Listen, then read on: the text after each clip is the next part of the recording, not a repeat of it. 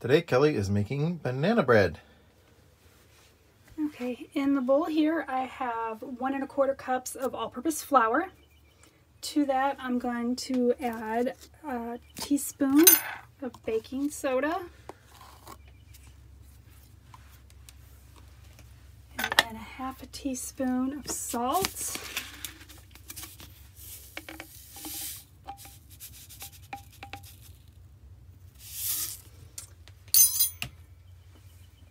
And then we're just going to kind of mix that together.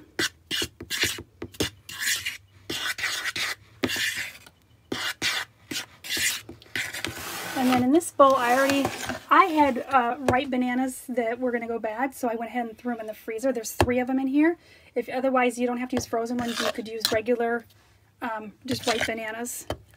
Um, it does get it a little bit um, more watery, so we will cut back a little bit on our non-dairy milk when we do add that in to make up for the difference in that.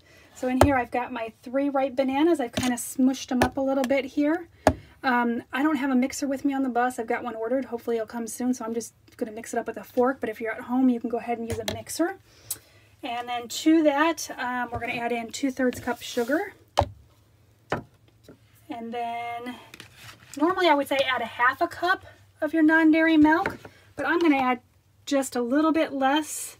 I'm going to go more like a third of a cup or a little bit more than that just to make up for the difference of the moisture that came off of those um, bananas. And then you want half a cup of, usually I buy plain um, non-dairy uh, yogurt. They didn't have any. It's hard to find right now, so I did buy vanilla. Vanilla I don't think is going to make a difference in because I'm going to add vanilla extract to this as well. So I'm not sure how much is actually in this container. Usually it's about a half. Yep. So that's going to be the whole container.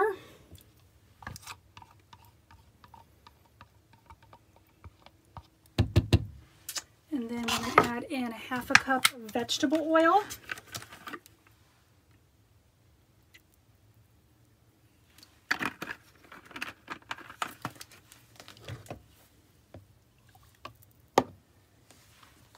And then a teaspoon vanilla extract.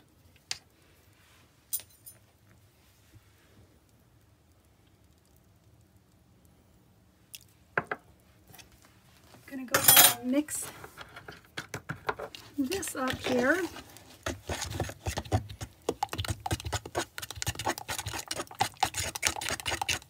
Okay, so I lied. I'm gonna switch from a fork to a whisk.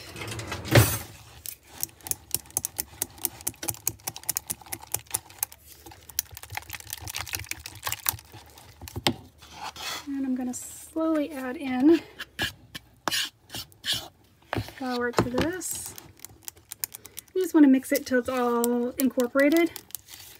You will still see some lumps because of the banana, but you just want to get it all mixed up so you're not seeing any more of the dry flour in there.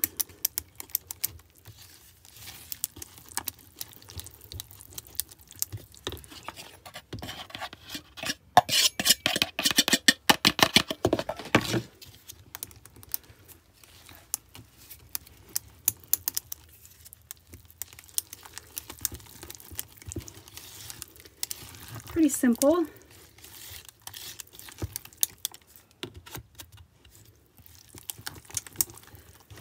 And then you want to set your oven to 350. I have taken, you want a loaf pan. These are a little bit smaller, so I am going to see about going ahead and putting them into two different ones. But I always put a little bit of parchment paper around there uh, before I lightly spray with any kind of cooking spray. I have an olive oil one. That way when it's all done, it's really easy to lift it out. This pan it comes out of pretty well because it's a silicone one, so it, it usually releases it really well. Um, but when you get your metal pans and stuff, sometimes it's a little bit harder to get it out of there. So with that, you could just pick it right out.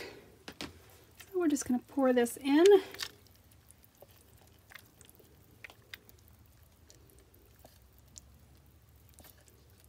This is actually, I might go ahead and fill it all the way up. This, this pan is very deceiving, so I can get it all into one.